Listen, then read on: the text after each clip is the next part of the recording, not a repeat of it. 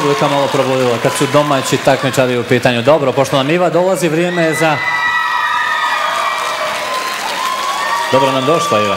Vrijeme je za, pazi, vrijeme je za malo ženske slatkorječivosti. Da bismo samo Maju udaljili, neka si ti stala malo između nas. Ja sad čekam nešto lijepo da, da bi se i ova naša komunikacija malo poboljšala, važi? Ja moram da ti kažem da je za slatkorječivost neophodna inspiracija od sagovornika. Dobro, ali pazi, slatkorječivost je potpuno druga priča. Aj ti meni kaži nešto lijepo i tako ćemo da E, pa riješimo. ovdje Ivane, ja stvarno moram da ti kažem da si ti najljepši voditelj sunčanih skala, ali isto tako moram da pozdravim sve ove ljude koji su došli da me podrže noćas. Isto da tako ja moram da kažem da Ivanu nije teško da bude najbolji među voditeljima jer je jedini.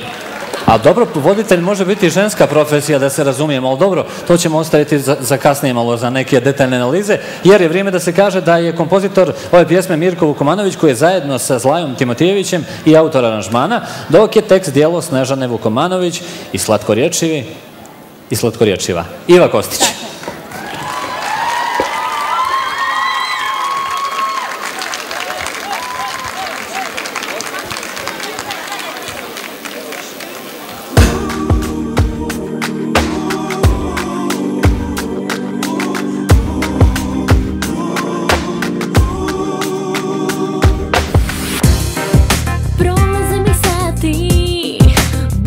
começamos um.